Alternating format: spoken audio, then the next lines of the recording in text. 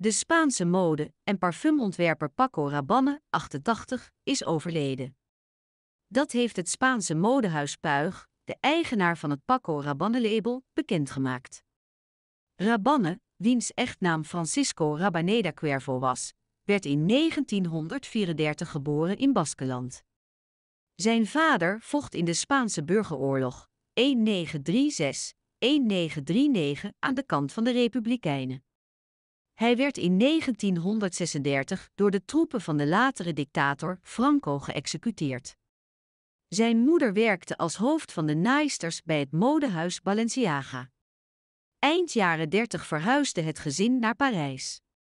Rabanne studeerde architectuur, maar verdiende ondertussen bij door het maken van schetsen voor modehuizen Dior en Givenchy en schoenontwerper Charles Jourdan. In 1966 begon hij zijn eigen modehuis.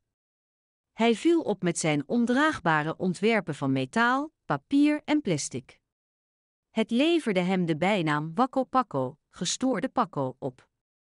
Hij ontwierp kleding voor onder andere Brigitte Bardot, Jane Fonda, in de film Barbarella en de Franse zangeres Françoise Hardy.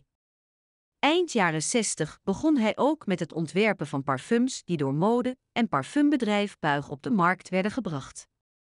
Zijn 1 miljoen parfum voor mannen is nog altijd populair. Behalve met zijn kleding en geurontwerpen trok Rabanne de aandacht met opvallende uitspraken. Zo zei hij dat hij meerdere levens had gehad, God had gezien en dat buitenaardse wezens hem hadden bezocht. In 1999 voorspelde hij op de Franse televisie dat Parijs door het neerstorten van het Russische ruimtestation weer vernietigd zal worden.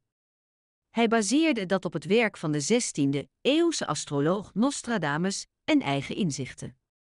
Twee maanden later bood hij zijn excuses aan, maar het leverde hem een deuk in zijn reputatie op. Rabanne stierf in Bretagne, in zijn woonplaats Portsel,